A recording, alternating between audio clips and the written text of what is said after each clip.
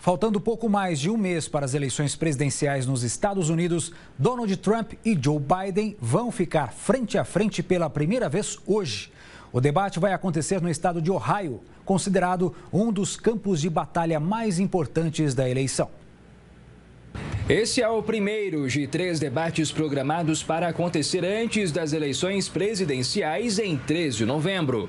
Seis tópicos serão discutidos no debate desta terça-feira: a história política dos candidatos, a Suprema Corte dos Estados Unidos e a polêmica nomeação de uma nova juíza feita por Trump, a pandemia do coronavírus, a economia norte-americana, o racismo e a violência urbana. E a tão questionada integridade da eleição.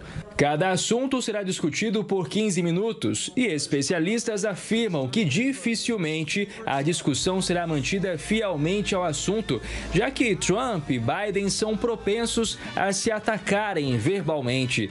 As provocações não são uma novidade. Em semanas passadas, Trump acusou Biden de usar drogas para melhorar o desempenho e chegou a pedir um teste antidrogas do debate.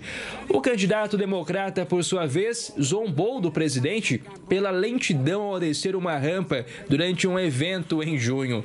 O embate entre os candidatos será realizado na cidade de Cleveland, em Ohio. A região do meio-oeste americano faz parte dos chamados swing states, ou estados pêndulo. Isso porque não se definem nem como republicanos nem como democratas, balançando para cada lado de eleição para eleição. Ohio é um dos campos de batalha mais importantes da eleição americana desde 1960. Quem ganha o voto popular no estado acaba eleito presidente. Nunca um republicano entrou na Casa Branca sem vencer em Ohio. Pesquisas apontam que o presidente segue com vantagem e mantém um eleitorado fiel no estado. Trump espera repetir o resultado de 2016, quando ficou mais de oito pontos percentuais à frente da então adversária Hillary Clinton.